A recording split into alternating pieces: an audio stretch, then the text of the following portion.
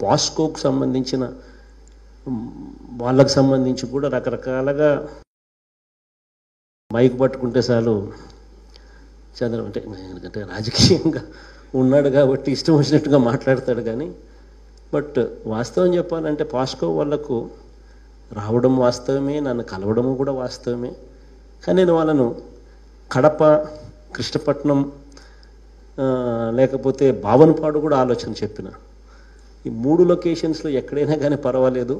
కడప అయితే బాగుంటుందని చెప్పి నేను కడప వైపుకు తీసుకొని పోయే కార్యక్రమం కూడా చేస్తాను వాళ్ళు కడపకు వస్తారో రాదో నాకైతే తెలియదు కానీ ఎందుకంటే వాళ్ళు ఎక్స్ప్రెషన్ ఆఫ్ ఇంట్రెస్ట్లో పార్టిసిపేట్ చేయాల.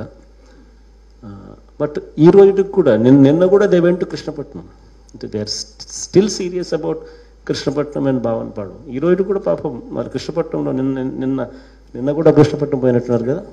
నిన్న కూడా పాపం కృష్ణపట్నం పోయినాను సో వాళ్ళు కూడా ఈడేదో పెట్టాలా ఇదేదో దీనికి రావాలా అని చెప్పి వాళ్ళకు కూడా it's not it is it is not a fact that they are also keen to come here and ఇదేదో తీసుకొని ఇక్కడ పెట్టాలనేది అది కూడా తప్పు మా ఎన్ని తప్పుడు ప్రచారాలు as they are also in steel కృష్ణపట్నంలోకి నిన్న కూడా పోయి చూసి వచ్చినారు. సో వాళ్ళు రావడం మంచిది.